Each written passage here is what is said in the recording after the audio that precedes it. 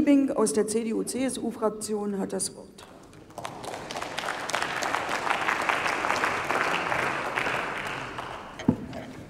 Frau Präsidentin, liebe Kolleginnen und Kollegen! Am Ende dieser Debatte zum EEG können wir Bilanz ziehen. Das Fazit ist, die Opposition hat äh, sich redlich bemüht, ein Bild zu zeichnen, die Energiewende werde ausgebremst, aber die Argumente waren dafür herzlich schwach. Es führt kein Weg daran vorbei an der Tatsache, dass wir ein klares Ziel miteinander haben. Wir als Koalition wollen die Energiewende zum Erfolg führen. Das war, das ist und das bleibt unsere Zielsetzung. Und äh, es ist vor allem eine Zahl, mit der ich dies auch noch einmal zum Abschluss dieser Debatte belegen möchte. Es geht um das Ausbauziel. Wir haben im geltenden EEG das Ausbauziel, dass wir bis zum Jahr 2025 40 bis 45 Prozent des Stroms aus erneuerbaren Energien erzeugen wollen. An diesem Ausbauziel ändert sich nichts, gar nichts. Im Gegenteil, wir bestätigen dieses Ausbauziel.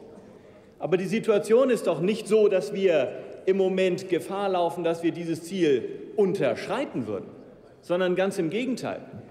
In sämtlichen letzten Jahren war der Ausbau der erneuerbaren Energien stärker, schneller forciert, als wir es staatlicherseits von der Politik, Sie in der Opposition oder wir in der Regierung erwartet und prognostiziert haben. Und wenn wir so weitermachen, dann überschreiten wir diese Zielsetzung.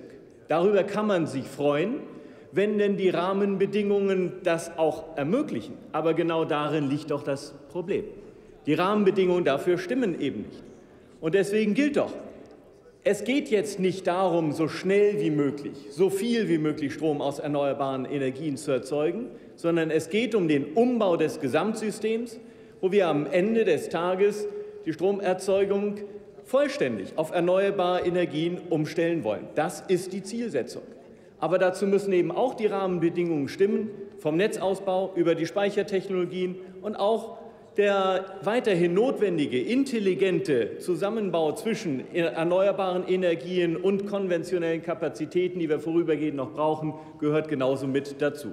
Wenn uns das gelingt, dann führen wir die Energiewende zum Erfolg. Aber genau deswegen ist Nachsteuerungsbedarf, deswegen ist Handlungsbedarf da, und das machen wir mit unserem Gesetzentwurf. Nun Sie, hat sich die Bundesregierung mit den Ministerpräsidenten auf wesentliche Änderungen schon verständigt. Aber das heißt ja nicht, dass wir hier nicht noch auch etwas zu entscheiden hätten. Und so möchte ich drei Punkte nennen, die mir am Herzen liegen, über die wir jetzt in den nächsten Tagen, zwei Wochen noch einmal sprechen müssen, um zu anderen, vielleicht auch, nein, sicherlich zu besseren Ergebnissen zu kommen. Der erste Punkt ist die Akteursvielfalt und die Bürgerenergieprojekte. Ich komme nun aus einer nordfriesischen Region, wo über 90 Prozent der Windparks Bürgerwindparks sind, wo die Bürger einer Gemeinde Eigentümer ihres eigenen Bürgerwindparks sind. Vor über 25 Jahren ist dieses Modell dort entstanden, eine Erfolgsgeschichte.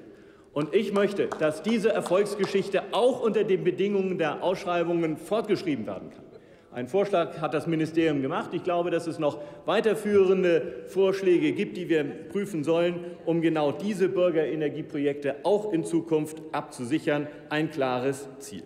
Der zweite Punkt ist, es ist extrem ärgerlich, dass Strom abgeregelt wird, aber vergütet wird und nicht genutzt wird.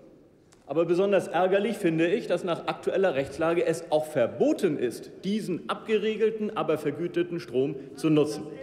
Und das möchte ich ändern und darüber diskutieren wir jetzt, in welcher Form das geht. Es gibt die Konzepte der zuschaltbaren Lasten, die man nutzen kann. Mir ist das ein Vorschlag, der noch zu starr im alten System verhaftet ist.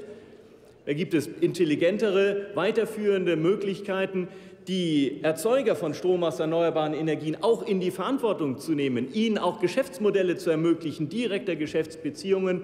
Und wenn der Mehrerlös daraus gleichzeitig zu einem wesentlichen Teil auch zurückfließt in das Härtefallkonto, dann entlastet es finanziell auch das Gesamtsystem. Ein guter Vorschlag, den wir in den Ausschussberatungen uns noch mal genauer ansehen sollten da wir mit den Sintec-Regionen, mit konkreten Projekten, die ja auch von uns gefördert werden, vom Bundeswirtschaftsministerium mit initiiert, gibt es Sinn, diese Ergebnisse auch jetzt auf den Weg zu bringen, dass sie auch umgesetzt werden können. Die Chance sollten wir alle mal miteinander nutzen. Dritter Punkt, der mir am Herzen liegt, ist das Thema Referenzertragsmodell. Das sieht vor, dass an äh, windschwächeren Standorten eine höhere Vergütung gezahlt wird. Das haben wir heute schon. Aber wenn mit dem Gesetzentwurf jetzt vorgeschlagen wird, dies noch einmal zu verstärken, für schwächere Standorte noch mehr Geld einzusetzen, dann ist das nach meiner Auffassung das Gegenteil dessen, was wir jetzt mit dem Systemwechsel der Ausschreibungen erreichen wollen. Die Ausschreibungen sollen die effizienteren Projekte nach vorne bringen. Deswegen gibt dies keinen Sinn. Und das müssen wir uns auch noch einmal ansehen, Herr Minister, ob das alles so Sinn gibt, was aus Interessenlage einzelner Bundesländer hier in den Gesetzentwurf eingeflossen ist. Wir müssen ein Interesse miteinander haben, die, äh, die effizientesten Standorte voranzubringen. Das senkt dann die Kosten. Das ist die Zielsetzung, um die es hier geht.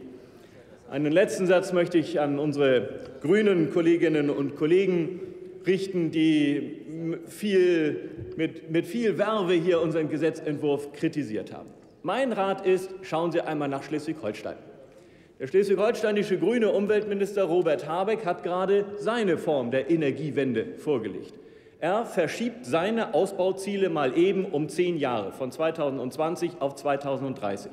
Damit wir uns nicht falsch verstehen, das kritisiere ich nicht. Das, kritis ja, das, ist völlig, ist, das Ziel ist ja auch in Ordnung. Das Ziel sind wir uns völlig einig, weil es auch das ist, was wir bisher auch aus drei Kernkraftwerken produziert haben. Und das wollen wir ersetzen durch erneuerbare Energien. Da werden Sie nichts dagegen haben, habe ich auch nichts dagegen. Aber es mal eben, Entschuldigung, hör, hör doch mal zu, sondern, sondern zu, zuhören, zuhören, ist nicht seine Stärke, das haben wir den Tag über schon also erlebt. Also ich mache darauf so. aufmerksam, dass Sie das bitte jetzt in einen Satz packen. Genau. Also schauen Sie sich da an, was der Herr Habeck macht. Offensichtlich führt Regierungsverantwortung auch dazu, sich ein bisschen schrittweise der Realität auch anzunähern. Das, was dort geschieht, das kritisiere ich nicht, aber Sie sollten sich daran mal orientieren, dass es vielleicht auch tatsächlich Sinn gibt, etwas wieder zu ordnen und zu steuern, wenn etwas aus dem Lot geraten ist. Das tun wir mit diesem Gesetzentwurf und äh, damit werden wir uns jetzt in den Ausschussberatungen beschäftigen, damit ein gutes Gesetz daraus am Ende wird. Vielen Dank.